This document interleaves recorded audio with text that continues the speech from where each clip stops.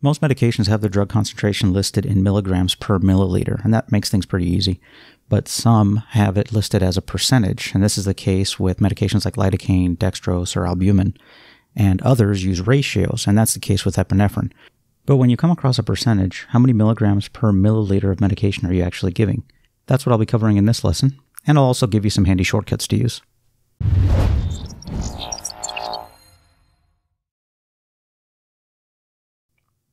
So, what is a percentage or a ratio actually telling you?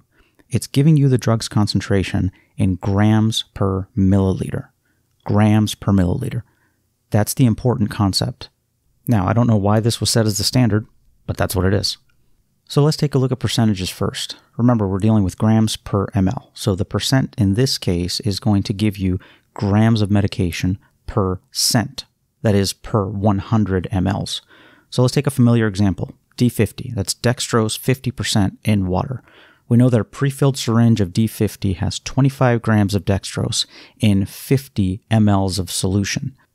If I reduce this fraction, I get 1 half gram per ml. 1 half is 50%. So there's our concentration in percentage. But to figure out how many milligrams per ml I'm giving of D50, all I have to do is convert units. Now, if you haven't already, please watch my video on drug calculations, which is linked here, because it'll help clarify the conversions I'm about to perform. So let's start with that same pre-filled syringe of D50. That's 25 grams of dextrose in 50 mLs of solution. I'm going to convert the grams to milligrams like so. And that leaves me with 500 milligrams per ml. And now it's easy to see that the shortcut with drug percentages is to take the percent and add a zero in order to get the milligrams per milliliter. So that means that lidocaine 2% is 20 milligrams per ml. Lidocaine 1% would be 10 milligrams per ml. D5 in water would be 50 milligrams per ml of dextrose, and albumin 25% would be 250 milligrams per ml. So this shortcut will work with any medication that has its concentration listed as a percentage, as long as the amount of medication is being measured in mass units, which means grams or milligrams.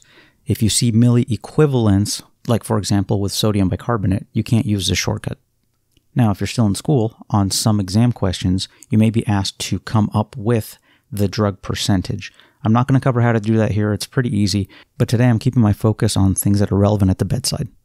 Okay, now let's switch gears and tackle ratios.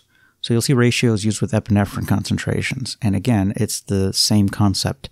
You're being given the concentration in grams per ml. So let's take epi 1 to 10,000, which is the pre-filled syringe in the code cart. If we turn 1 to 10,000 into a fraction, we get 1 gram in 10,000 mLs. I can then convert this into milligrams per ml as shown. And that gives me 1 milligram in 10 mLs, which is 1 tenth of a milligram per ml or 0.1. So here's the shortcut for ratios. Notice in the calculation I just performed, all I did was knock three zeros off of the second number. And so when you're dealing with ratios, such as 1 to 10,000, all you have to do is ignore the last three zeros. So 1 to 10,000 becomes 1 milligram in 10 mLs. And that's the 10 ml pre-filled syringe that we keep in the code cart. This is IV epinephrine because it's more dilute. 1 to 1000 becomes 1 milligram in 1 ml. This is the 1 ml ampule. It's more concentrated, and that's why this is what we give for IM injections. See? Not so difficult after all. So remember, the key to understanding percentages and ratios when it comes to drug concentrations is that it's being reported to you in grams per milliliter. The shortcut for percentages is just add a zero on the end, and that gives you milligrams per ml. And the shortcut for ratios is just to ignore the last three zeros. If you like the content, please subscribe, and don't forget to hit the bell to get notified of new videos. And as always, don't aim to memorize, aim to understand so that you can apply what you've learned. Thanks for watching.